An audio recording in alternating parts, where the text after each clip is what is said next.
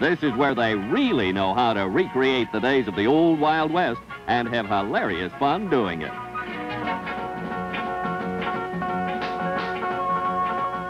But Westerners have as high a regard for today and tomorrow as they have for history. And the sport of today in the West, as it is right across Canada, is speedway racing.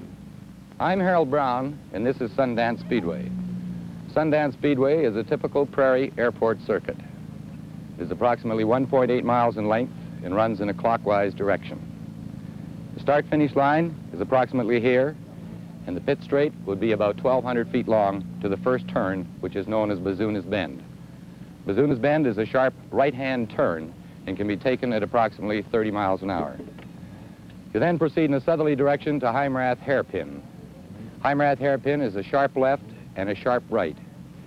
You approach this corner from the right side it is, as it is a left turn. You start your car into the left turn, and then right about in the area where we are right now, you attempt to set adrift so that you can negotiate the turn without going too far to the right because you're approaching a very, very sharp right turn. You go well out to the left as we are right at the present time, and then you have to have done your... at Fort Macleod, Alberta, on a transplanted airport runway, the future stars of the motor tracks test their mettle for the more arduous years ahead in the international big time. Here, the younger drivers compete in one of the important races counting towards the Players' Challenge Trophy.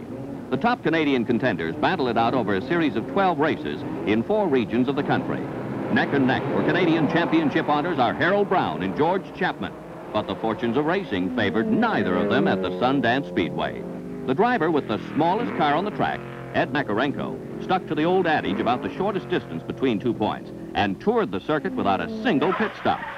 His Macaro Mark II carried him to a jubilant victory over many higher quality and more expensive cars. As Milt Wright of Imperial Tobacco said when he presented the trophy, Ed Makarenko did it the hard way.